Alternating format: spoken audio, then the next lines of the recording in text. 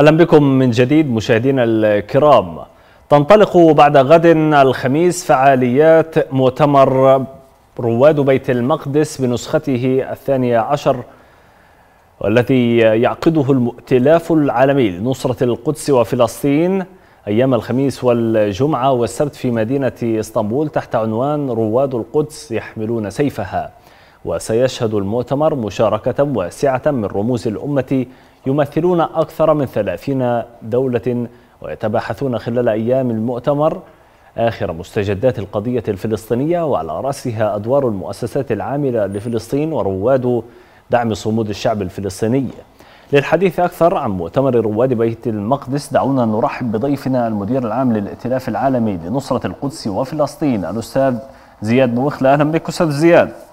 أهلا وسهلا فقط تصحيح بسيط أنا نائب الأمين العام للائتلاف وليس المدير نائب الأمين العام ولا نعم. يهمك نعم. أستاذ زياد نتحدث عن المؤتمر نعم. وتفصلنا أيام عن بداية فعالياته نعم. ما الجديد نعم. الذي يحمله هذا المؤتمر بنسخته الثانية عشر الجديد الذي يحمله مؤتمرنا هو أنه يأتي بعد عقد على تأسيس هذا الائتلاف الائتلاف العالمي لنصرة القدس وفلسطين. عقد راكم فيه الائتلاف خبرة وتجربة من خلال جمعه وحشده لخبرات واسعة من رواد ورائدات العمل لفلسطين.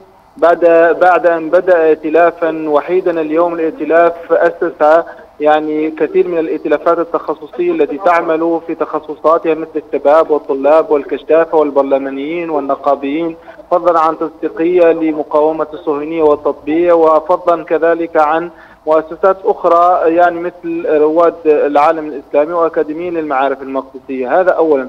ثانيا يأتي بعد جائحة كورونا التي انقطعت بمقتضى فرصة أن نلتقي هؤلاء الرواد على صعيد واحد ونجمعهم من أجل أن نحشد الأعمال خدمة للقضية الفلسطينية، فاليوم هذا الانقطاع بعد سنتين تتجدد فيه اللقيا بين مجموعة من رواد ورائدات العمل للقدس وفلسطين وبالتالي هو دفعة جديدة من أجل خدمة القضية الفلسطينية.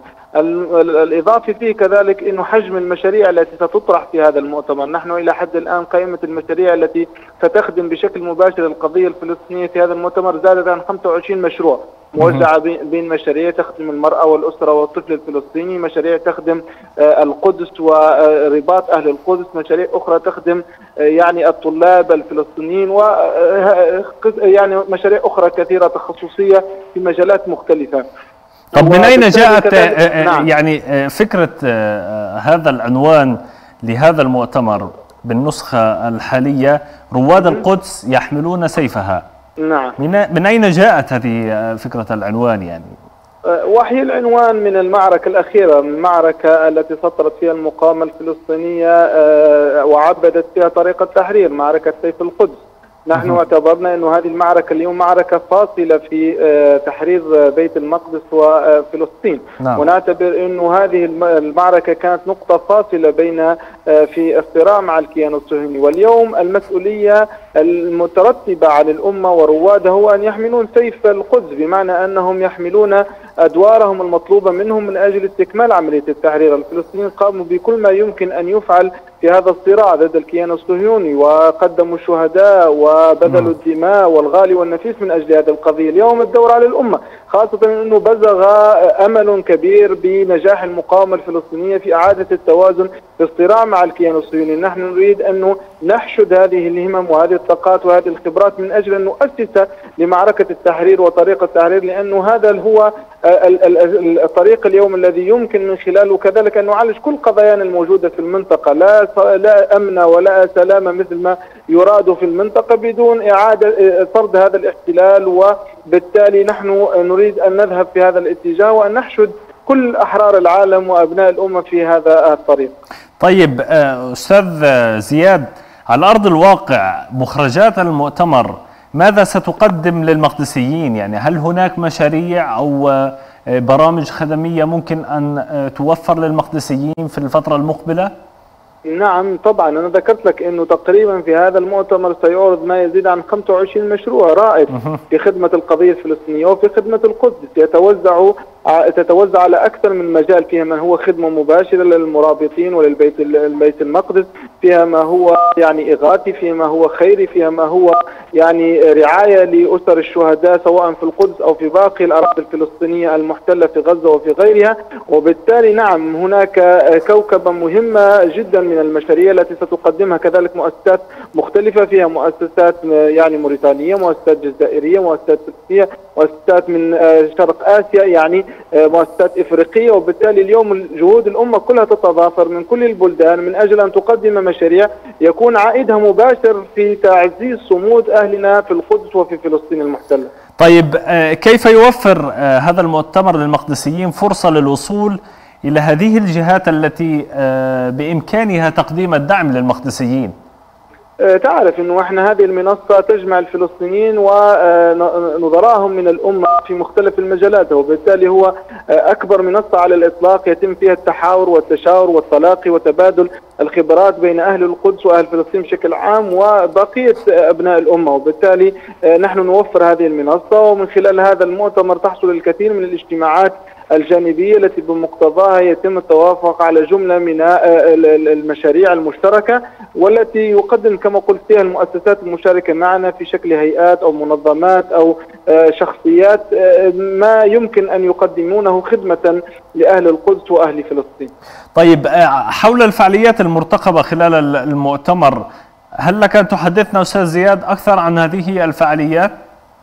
المؤتمر من ثلاثة أيام ينطلق يوم الخميس صباحا وينتهي بنهاية يوم السبت إن شاء الله مساء.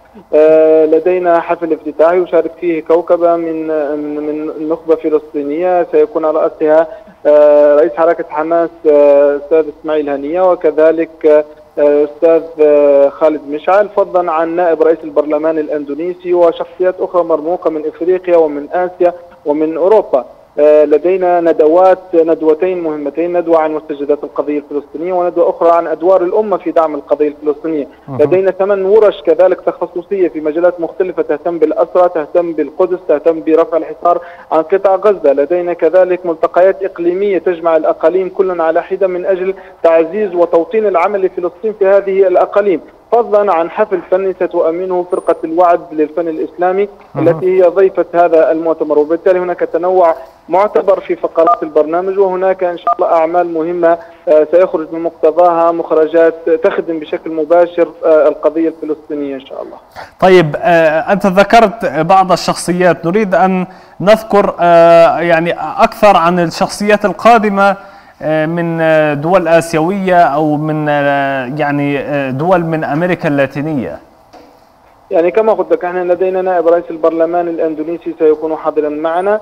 لدينا أحد مبعوثي الأمم المتحدة السابقين وهو ياباني قد أسلم في الفترة الأخيرة وهو سول تاكاهاشي وهو نائب المبعوث السابق للأمم المتحدة. آه سيكون من يعني الشخصيات المرموقة لدينا لدينا مات سابو وزير الدفاع السابق الماليزي. هذه على الأقل من باب الذكر للحصر الحقيقة وبالتالي هناك شخصيات مرموقة جدا تشارك معنا آه من قارات العالم السبع وتمثيل مشاركة الدول يزيد عن 50 دولة في هذا المؤتمر. وبالتالي نحن نتحدث عن منصة تجمع الأمة بالفعل من مختلف الأجناس والأعراق والقارات.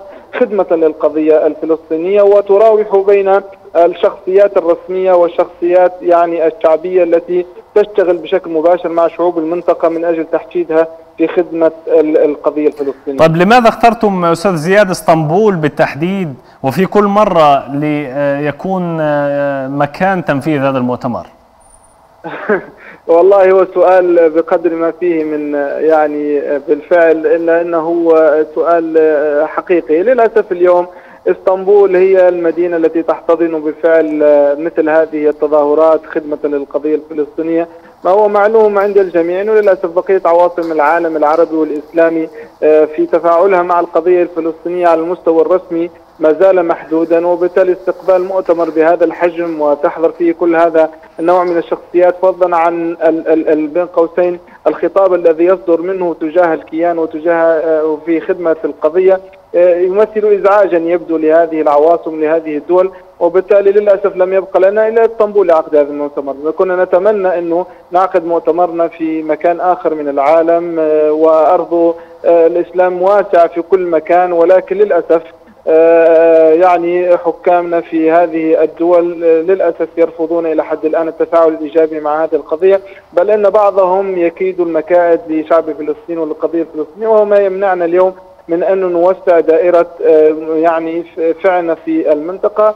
وهو الذي يمنعنا من أن نعقد مؤتمرنا في مكان آخر للأسف ولذلك كان عنوان النسخة السابقة القدس أمانة والتطبيع خيانة أليس كذلك؟ نعم نعم للأسف نحن كما تعرفون جيدا هذا هذا هذا هذا التمشي الخطير وهذا المسخ الذي أصاب السياسة الرسمية العربية والإسلامية وهو التطبيع آه، فأغلق الباب في أكثر من منطقة على أن آه، أن القضية الفلسطينية تبقى هي البوصلة المحددة يعني في علاقتنا مع هذا الكيان. اليوم التطبيع آه، يعني يجتاح المنطقة ويجتاح الأنظمة الرسمية وهناك محاولة لطمس هوية القضية الفلسطينية. هناك محاولة كذلك لاختراق وعي الشعوب العربية والإسلامية من خلال هذا الداء داء التطبيع. ولذلك بالفعل كان هذا الشعار في السنة الماضية. وهو شعار الحقيقة يتجدد لأنه إلى حد الآن نحن ما زلنا نعيش التطبيع آه، في أكثر من منطقة آه، من دولنا. وبالتالي نحن معنيين مواصلة آه،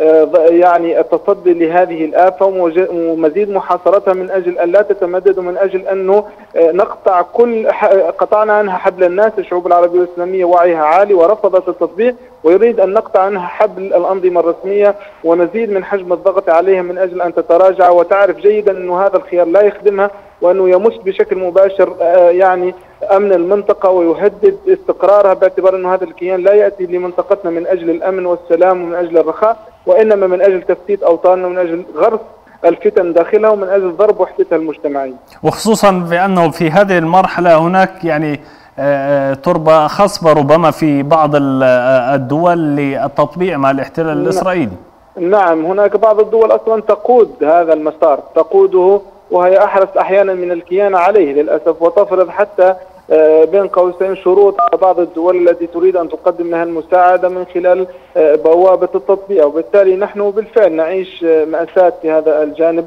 وللأسف نحن في الوقت الذي كنا نتصور فيه أن الأنظمة العربية الإسلامية ستكون موحدة في دعمها للقضية الفلسطينية نجد أن بعضها ينحاز للكيان وينحاز للسردية الصهيونية ويغلب آه، يعني مصالحه الضيقة على حساب مصالح الأمة. وبالتالي آه، نحن معنيين إنه نواصل آه، جهدنا من أجل يعني محاصرة كما قلت هذه الآفة ومن أجل إقناع هذه الأنظمة بأن هذا المسار الذي تتخذه مسار سيعود عليها بالوبال وسيعزز من عزلتها وسيضرب كما قلت وحدة دولها في مقتل ونحن أحرص ما يكون على وحدتها وعلى استقرارها وأمنها أكثر من أي آه، طرف آخر. ونحن معنيين أن نتعاون من أجل أن نتجاوز مثل هذه الآفة وغيرها من الآفات التي تريد أنها آه، تعيد القضية الفلسطينية إلى إلى آخر إلى آخر يعني حلقة القطار ونريد أن نستمر في أن ندفع بالقضية الفلسطينية إلى محور الاهتمامات في الأمة وعلى المستوى الرسمي كذلك. نائب الأمين العام للائتلاف العالمي لنصرة القدس وفلسطين الأستاذ زياد بومخلة شكرا لك على كل هذه التفاصيل ونتمنى لكم كل التوفيق في مؤتمركم والشكر أيضا موصول إليكم مشاهدينا الكرام دمتم في أمان الله وحفظه